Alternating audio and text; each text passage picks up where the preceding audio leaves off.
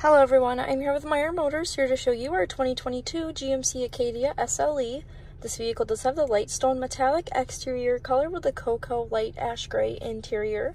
It does have the 2.0 liter turbo engine and it does have the driver convenience package.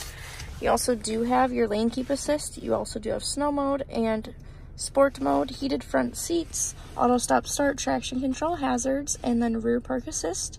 You have two USB ports there with your shifter heat and AC controls. Up here you do have your Apple CarPlay and Android Auto and rear vision camera. Onto the dash, that's what the dash looks like. It does have 32,227 miles at the moment. You do have forward collision alert, cruise control buttons, voice commands, ending phone calls. If we take a look on the outside, you do have carpeted floor mats for the floor mats in this vehicle.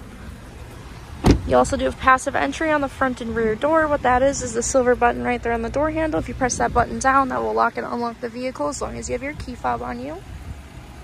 This vehicle does have front park assist as well.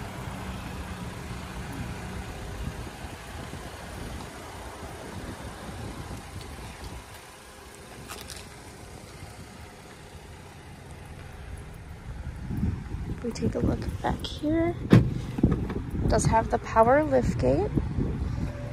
This is what the rear area looks like. You can put the third row down and the second row down if you need extra space back here. If we take a look in the second row, these are what the second row looks like. You can move the seats forward or backwards.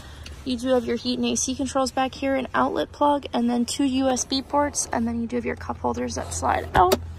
That is all I have on this Acadia. If you have any other questions, please just give us a call or visit our website at gomeyermotors.com. Thanks for watching.